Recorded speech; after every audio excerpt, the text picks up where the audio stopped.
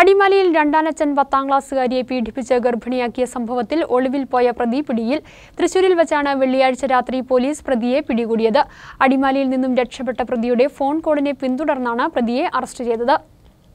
അടിമാലിയിൽ രണ്ടാനച്ചൻ പത്താം ക്ലാസ്സുകാരിയെ പീഡിപ്പിച്ച് ഗർഭിണിയാക്കിയ സംഭവത്തിൽ ഒളിവിൽ പോയ പ്രതിയെ തൃശൂരിൽ നിന്ന് അടിമാലി പോലീസ് അറസ്റ്റ് ചെയ്തു. അടിമാലിയിൽ നിന്നും രക്ഷപ്പെട്ട പ്രതി എറണാകുളത്ത് നിന്നും നടത്തിയ ഒരു ഫോൺ കോളിനെ പിന്തുടർന്നാണ് പോലീസ് സംഘം തൃശൂരിൽ എത്തിച്ചേർന്ന്.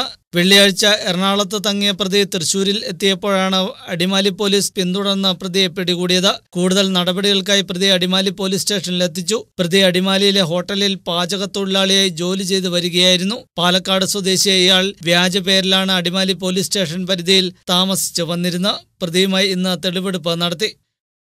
ഞാൻ മൂന്ന് വർഷമായിട്ട് അടിമാലി സ്റ്റേഷൻ പരിധിയിൽ വിവിധ ഹോട്ടലുകളിൽ ഹോട്ടൽ പണി ചെയ്യുകയായിരുന്നു.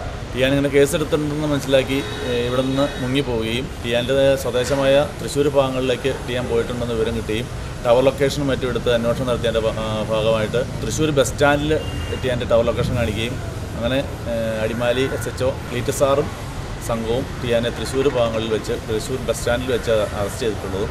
ടിയാൻ ഇന്ന് കോടതിയിൽ ഹാജരാക്കി ബാക്കി പോലീസ് നടപടികൾ സ്വീകരിക്കുന്നതാണ്.